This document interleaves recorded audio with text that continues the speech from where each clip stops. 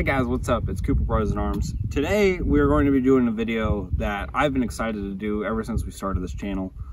Um, AR-15s versus Mini 14s. And, well, I should say AR-15s versus Mini 14.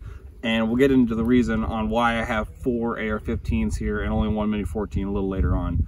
But uh, we're going to be doing just some simple drills. Um, we're going to start out pretty close range, just doing some quick target acquisition, just to kind of show the difference between, um, you know, what the AR-15 is used for and what the Mini 14 is used for. For those of you who've seen my videos before, you know that my gun versus guns aren't really which one is better than the other. They're just kind of comparing them and then showing which one kind of works for which situation better. Um, and I want to state early on in this video that I by no means think that the Mini 14 is inferior to the AR-15 and vice versa. Um, I think they're both great platforms. I think they both have their own designations within the world that make them excel um, in their own little niches.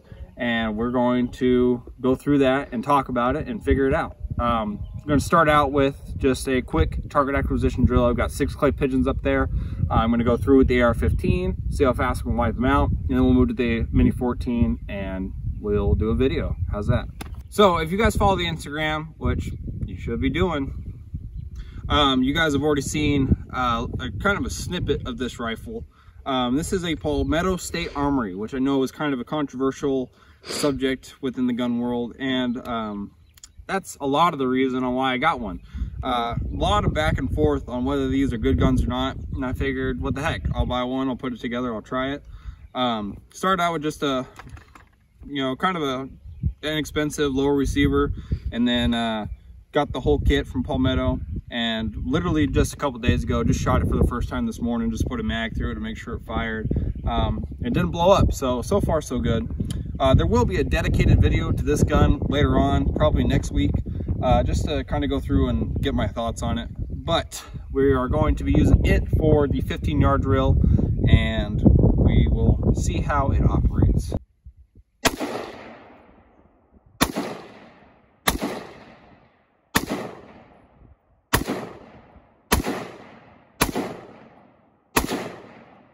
All right, guys. So I was able to go through the clay pigeons with, you know, relative ease. Uh, wasn't the fastest shooting in the world. Not trying to set any land speed records or anything like that.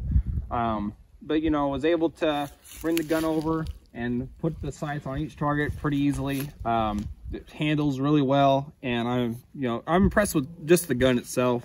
Um, had a couple misses, but that's the beauty of the AR-15 is you have enough ammo in your in your gun and you can usually be quick enough to where you can come and pick up those shots that you missed.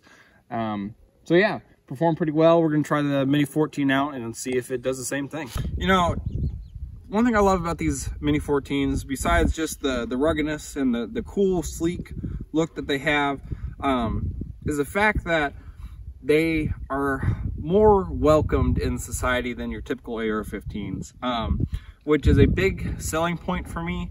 I'm not saying that you should be ashamed of your AR-15 or that you should try to uh, buy just guns like this and stay away from AR-15s. I'm not saying that at all. I'm just saying that if you live in a state where it's hard to get the assault style weapons, um, you know, usually these are pretty, pretty available. And that's because they just look like a regular hunting rifle. And especially, you know, this is a 20 round mag, but you can get five round mags for them. Um, they just don't look as threatening. So if that's something that you're worried about, if that's something that your laws uh, in your state or whatever are concerned about, then maybe this is uh, a better choice for you than the AR-15. But uh, we're gonna do the shooting and uh, see how it compares to the AR-15 that we just shot. Uh, I just wanted to say that I, I like these, I like these guns a lot, so let's shoot it.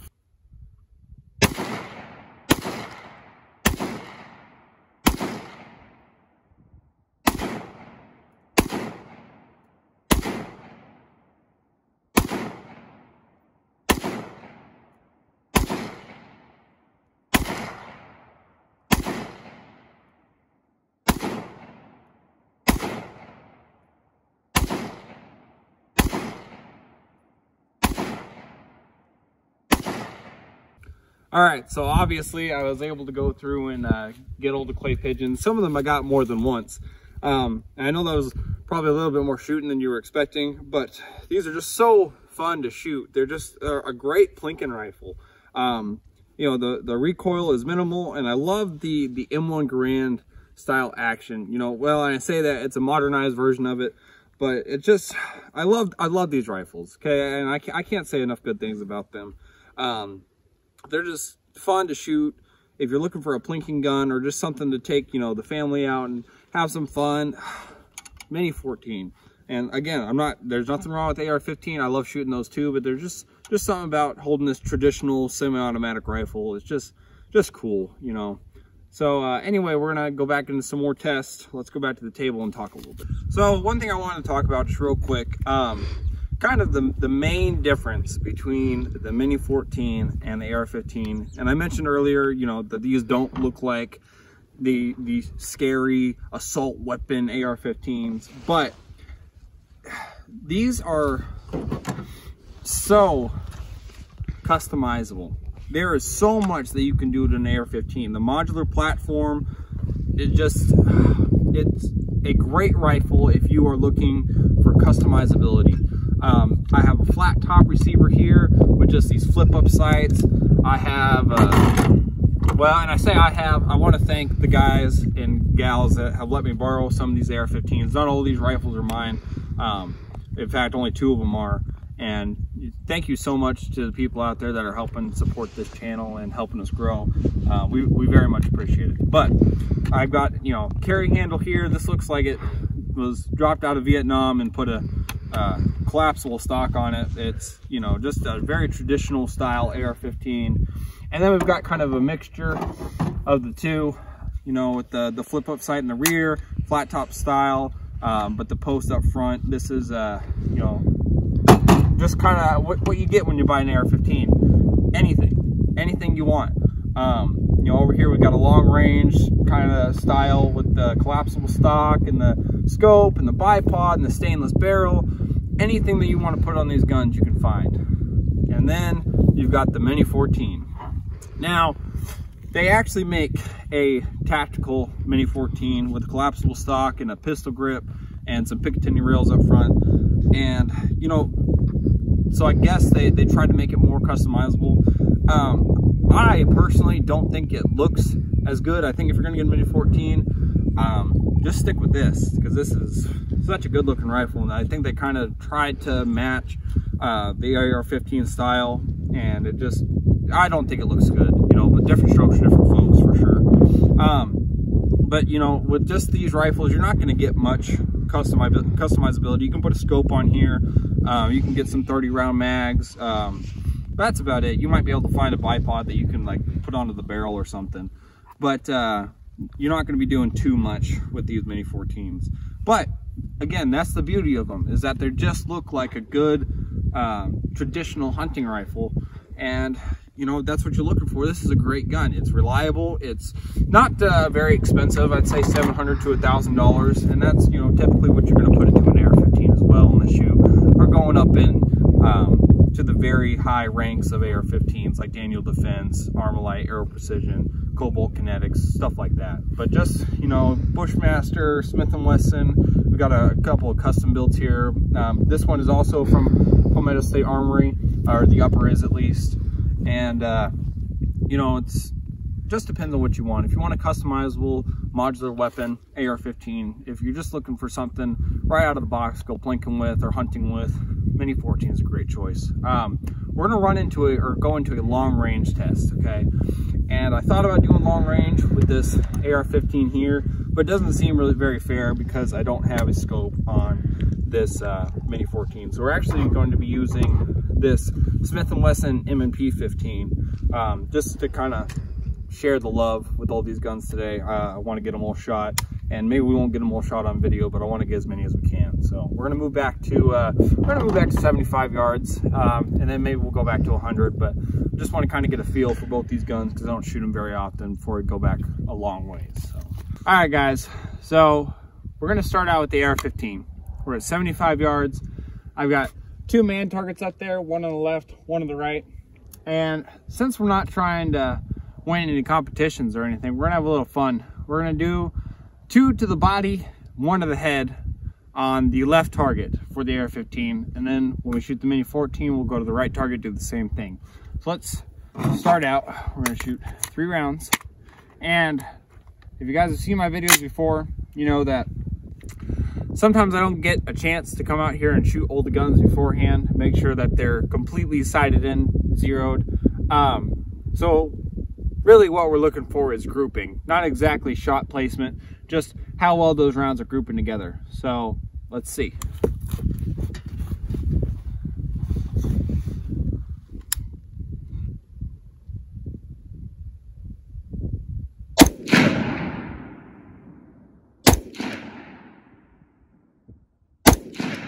All right, now the right side with the Mini 14.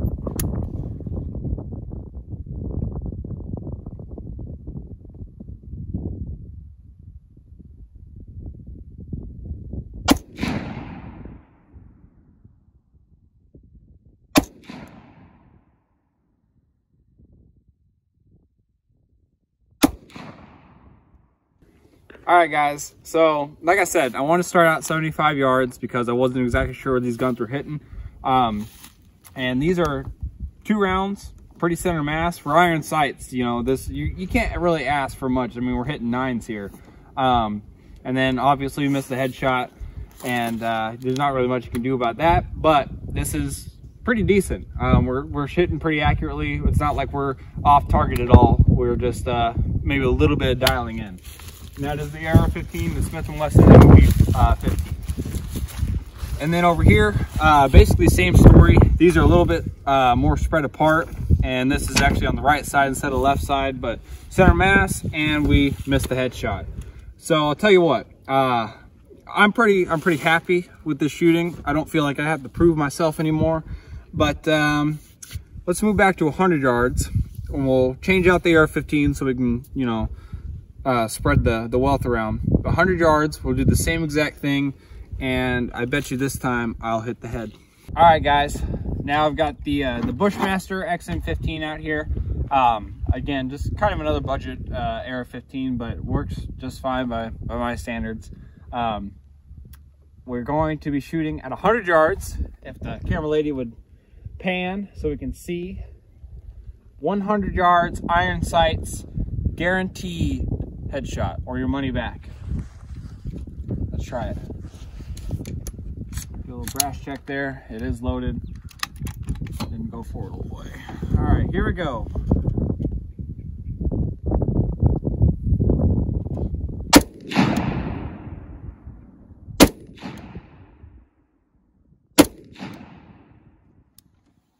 All right. I'd like to say that I know that there's a bullet down there in the head, but I can't tell yet. I'm not sure. I felt good, but I'm just not sure. We'll have to find out. But first, we're gonna shoot the Mini 14. So again, three shots, 100 yards, iron sights, two to the body, one to the head.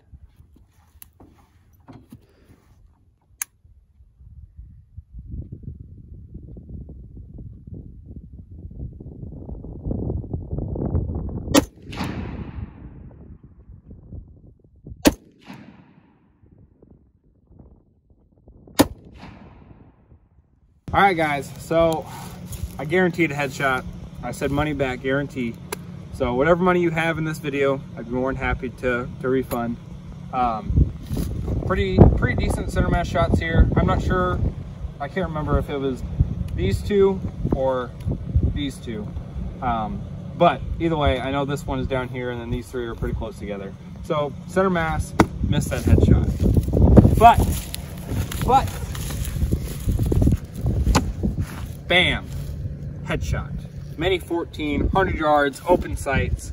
Um, and again, you know, down here, center mass. I'm not sure how we were able to spread that much down here and then bring it back in for a headshot. But the point is, is headshot. Mini 14, if you're, you know, shooting a man-sized target at 100 yards, should be able to hit what you're aiming at, or at least close. You know, and like I said, it's kind of a hunting rifle. So um, I don't necessarily recommend shooting deer with a two, two, two three. Um, it's kind of a controversial subject. You'll have to do your own research and figure out if that's something you want to do. But coyotes, uh, varmints, predators, whatever you're uh, thinking about hunting with your Mini 14, um, you know, this is pretty decent. And like I said, I don't really shoot with it over, uh, you know, 50, 50 yards usually. So if you get good with it, you can sink those shot groups down and, you know, have a very accurate rifle on your hands. Um, we're gonna do one more test because I've shot every gun here but one today. So what we're gonna do is we're gonna back out to 200 yards. And we're gonna shoot that AR-15 with the scope on it um, and the Mini 14 and see. Now, before, before any of you say anything, I don't expect them to be close. This isn't really even a comparison. I just wanna shoot the gun because I feel bad that the others have been shot and I gotta compare it to something. And this is about AR-15s versus Mini 14. So we'll shoot them, see how they stack up against each other and go from there. So last test of the day, 200 yards. And we're gonna be starting out with this AR-15. Um, again, this isn't really fair, but I wanted to point out that um, no matter what you do, the AR is always going to have a longer range. Uh, even if you put a scope on the Mini 14, you're going to be able to reach out further with an AR style gun because you can use different calibers. Um, this is, you know, just a 223 556, but you can get uh, 6.5 Creedmoor, 308, 6.5 Grendel, 6.8 SPC, a bunch of different long range cartridges in an AR style platform. But the Mini 14 is going to be 223, 556, or you can get a Mini 30, which is a 7.62 by 39. But you're going to be stuck with those two calibers where, like I said, you can infinite number of calibers for, eh, not infinite, we'll say a plethora of calibers for the AR style. Um, but without further ado, 200 yards, scope versus iron sights. Uh,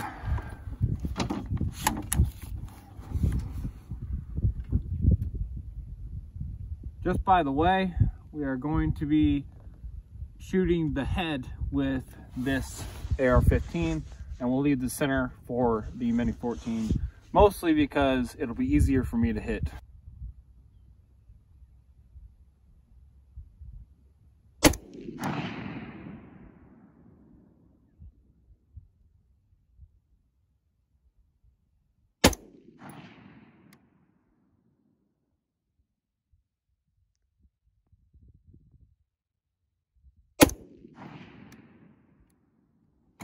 All right, and uh, I couldn't really see where I was hitting um, because of that black background. This is not an easy C target, um, but they felt like good shots.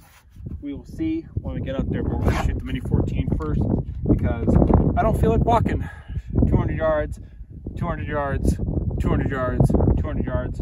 Uh, just not the shape for that. Round is a shape, but it's not in shape.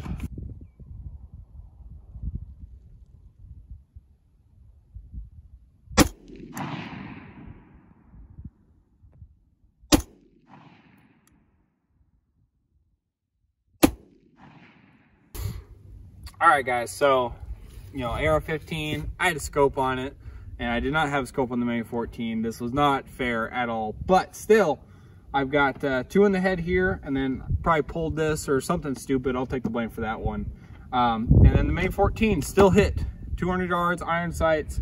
You know I was trying to aim somewhere around here at that range. It kind of just looks like a big black blob I'm just trying to hit the center of it.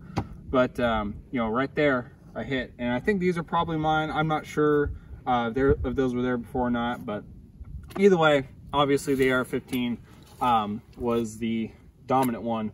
But like I said, the Mini 14, if it would have had a scope, I have every confidence that it would have performed just as well. The AR-15 is always going to be better long range though, just because of its availability of calibers. Um, and uh, customizability, it also kind of takes the cake. Uh, you can just do so much stuff to it. But the Mini 14 is a great gun for someone who wants just a standard semi-automatic, reliable, durable, rugged rifle. Um, someone who's not trying to look cool or tactical or, uh, you know, just different strokes for different folks. Um, I love them both. I, I, I think that they both serve a purpose. I like my Mini 14 for plinking or hunting, and I like my AR-15 for plinking and hunting. It just depends on what you want to shoot that day. There's nothing wrong with owning more than one type of gun. Own them all. That, that's my motto from now on. Own them all. Just whatever you want, go get it. Um, but that's about it, folks. Thank you so much to the people that let us borrow the, uh, the AR-15s and the Mini 14 today. Uh, you know who you are. And uh, thanks everybody else for watching. Make sure you like, comment, subscribe. Follow us on Instagram if you're not already. We have a lot of uh, content that you guys aren't seeing if you're not following it. Um, we just did a giveaway for a 300 follower mark. There's a guy in Oklahoma that's going to be getting two free shirts and a hoodie because uh, he won our giveaway. And we're going to be doing those more often. So make sure you go follow for a chance to win some free stuff and just to, you know, get a little look at our great content that we provide. Other than that, guys, have a great day. We'll see you later.